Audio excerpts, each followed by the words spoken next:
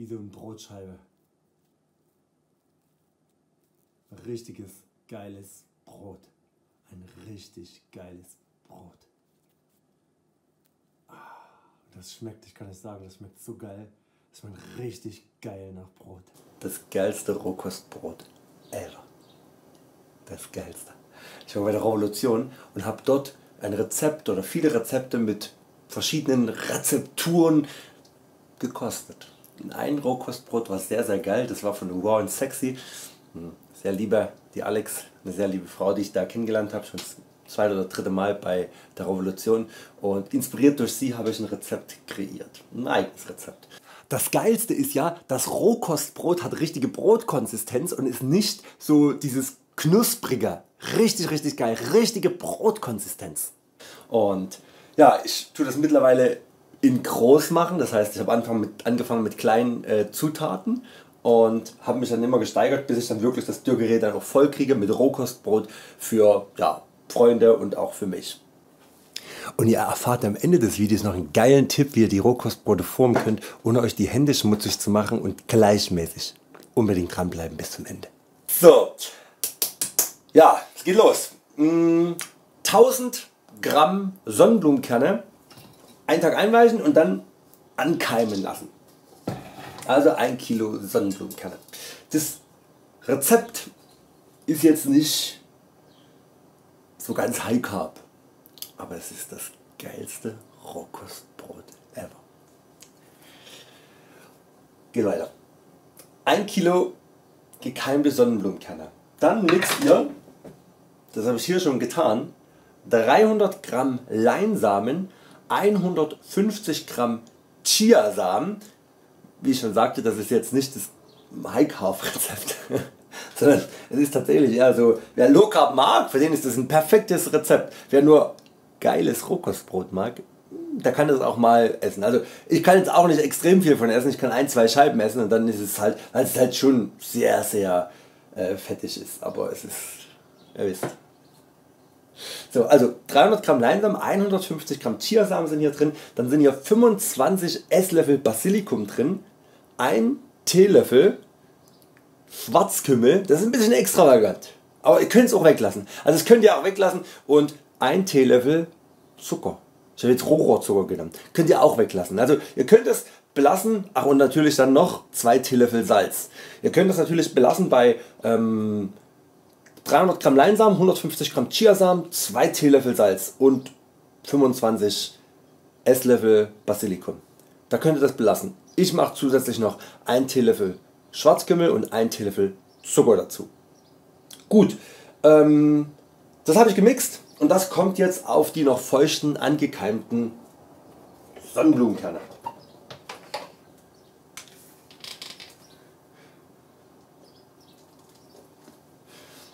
Übrigens das ist so ein Trick, weiß nicht ob ihr den genau gesehen habt.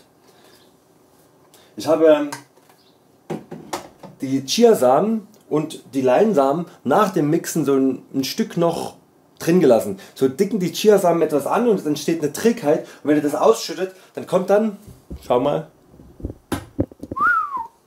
da kommt dann wie so eine, ja dann hält das, das Gesetz der Trägheit. Hoffe ihr erkennt man, guck mal. Ah, kennt man gar nicht so sehr. Hier. Da kommt halt so ein Trägerfladen raus. Kurioserweise, Vorführeffekt, ist jetzt tatsächlich noch was drin geblieben. Äh, das geht aber wahrscheinlich auch ganz schnell raus, mache ich gerade. Aber es ist halt so ein kleiner Tipp, dass man dann halt den Chiasamen einfach drin lässt und dann einfach so macht. Und, weil ansonsten müsste man das einzeln auskratzen. Mit so einem Schaber zum Beispiel. Okay? Alles wieder zurück. Hallo. Gut, jetzt muss man halt dann nochmal. Aber das Ausschaben geht auch wesentlich einfacher wenn Chiasamen dabei sind, weil wie gesagt Gesetz Trägheit, dass das halt alles so ein bisschen aneinander klebt und dass man mit einem oder ja, mit zwei ja, auseinander kriegt. Aber im Großen und Ganzen geht es viel viel einfacher. So, das hat man jetzt so eine Paste und dann kommt noch das, was ich halt als Inspiration auch selber bekommen habe. Ich bin gleich wieder da und zwar und ihr erfahrt am Ende des Videos noch einen geilen Tipp wie ihr die Rohkostbrote formen könnt ohne euch die Hände schmutzig zu machen und gleichmäßig. Unbedingt dranbleiben bis zum Ende. Flohsamen. Also ich hatte noch Flohsamenschalen gemahlen da, funktioniert sehr sehr gut, aber Mit den Flohsamenschalen, die jetzt nicht gemahlen sind, geht es auch. Mit dem Flohsamen an sich geht es nicht. Ich mache jetzt von den Sachen hier, ich muss meinen Teelöffel suchen, ah, hinten einen Teelöffel. Von denen mache ich jetzt 40 Teelöffel rein.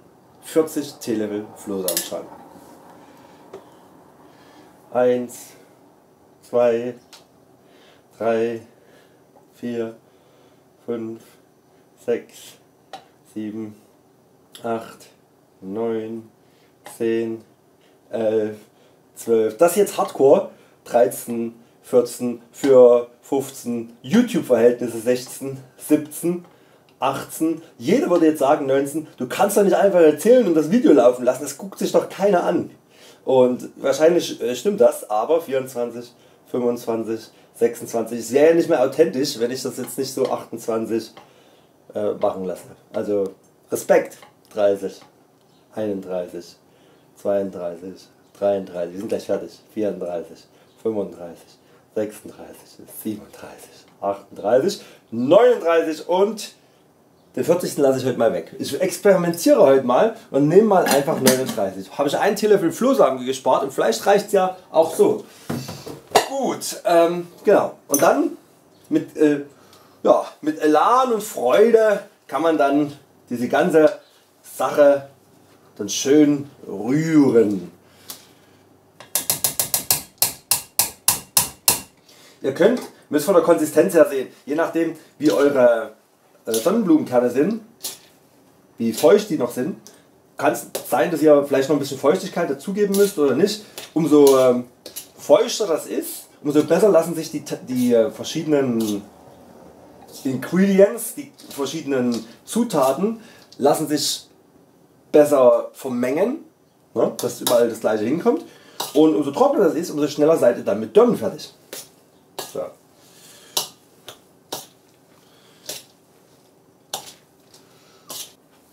Und ihr erfahrt am Ende des Videos noch einen geilen Tipp, wie ihr die Rohkostbrote formen könnt, ohne euch die Hände schmutzig zu machen und gleichmäßig. Unbedingt dranbleiben bis zum Ende.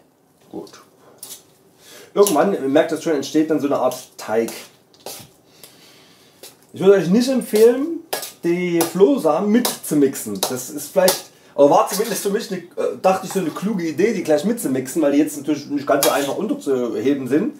Aber das war dann, da war die Trägheit dann in dem Pott zu groß und das hat schon echt ein bisschen Probleme, das alles dann gut rauszukriegen. Von daher, ja, ist das dann danach gemacht. Wichtig ist natürlich, dass keine einzelnen Sonnenblumenkanne in irgendeiner Weise jetzt hier rumfliegen, weil die, wenn ihr die dann äh, dort und keine Verbindung haben zu dieser feuchten, klebrigen Masse aus Chiasamen und Flohsamen, ja, dass die dann, die fliegen ja dann rum, halt ja nicht im Brot. Genau. So, und jetzt geht es ans Dörren. Dörrgerät eurer Wahl. Hm, ich werde jetzt gar nicht mal hier, ich tue noch ein bisschen rühren, aber um es jetzt mal noch kurz zu machen. Äh, ich nehme das Dörrgerät von Klarstein, ich kann euch das mal unten verlinken, das ist für mich der klare Preis-Leistungssieger. Das Problem hier dabei ist, dass es nicht gleichmäßig wird, sondern dass die Lagen oben und unten schneller gar werden als das in der Mitte. Ich habe eine Rezension gemacht, könnt ihr euch anschauen. Und aber es ist mit Abstand das billigste und ja, meistens ist es so, wenn man dort probiert man und dann ist ganz gut, wenn oben schon eher fertig ist und ansonsten müsste man nach der Hälfte der Zeit einfach die Lagen hier wechseln und muss halt jeder für sich selber entscheiden. Gartemperatur können entscheiden, also wenn es wirklich, also wenn die, die Rohkostqualität egal ist, dann macht ihr das bei 60 Grad und wenn ihr das dünn habt, könnt ihr in einer Stunde schon euer Brot essen.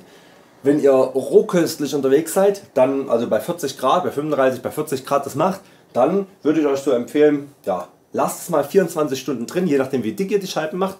Ihr könnt es als, also ihr könnt es natürlich als kleines Brot machen. Ich zeige euch vielleicht mal ein Foto oder ein kleines Video. Mm, aber das dauert echt lange, also da braucht es wirklich so 72 Stunden. Brotform machen, dann dauert es halt eben länger, das Brot zu dürren. Bis das richtig durch ist. Ich mache es lieber direkt als Scheiben und ja, da hat man einfach viel, viel schneller die Dürrzeit und nutzt die Energie viel besser. Einen goldenen Tipp, wie man richtig die Brote formt zu Scheiben, dass sie wirklich gut sind. Und zwar habe ich mir so ein Ding äh, gekauft aus ja, Metall. Das ist Guss, wahrscheinlich Aluguss, glaube ich. Aber das Lebensmittel kommt nicht damit in Verbindung, weil ich habe Frischhaltefolie drum gemacht.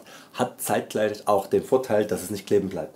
Ähm, ja, das zuvor müssen wir nämlich eine ganz schön klebrige Angelegenheit. Wenn ihr schon mal mit Flohsamen hantiert habt, werdet ihr wissen, oh, das kann ganz schön eklig werden. Und deswegen habe ich mir das Ding geholt. Ähm, ja, man macht einfach einen Löffel hier rein, nimmt das, drückt drauf, drückt das zusammen und dann, seht ihr das? Entsteht so ein Patty, den ihr dann quasi einfach, hoffentlich sieht man das, hier drauf machen könnt, legen lassen könnt und dann habt ihr eine richtig schöne Scheibe Brot. Das Ding habe ich euch unten verlinkt, es ist Gold wert. Kostet nur ein paar Euro, nicht mal 10 Euro, ich glaube 7 oder 8 Euro. Aber damit macht er nicht nur geile Brote, sondern alles geile Klopse, alles immer gleich dick. Und das ist immer auch, wenn ihr das grillen wollt oder wenn ihr das dünn wollt, immer von Vorteil. Und es ist so einfach. Manchmal ist die Technik von heute gar nicht so schlecht, auch wenn es nicht mal Technik ist. So sieht dann das fertige Brot aus. Die Patties.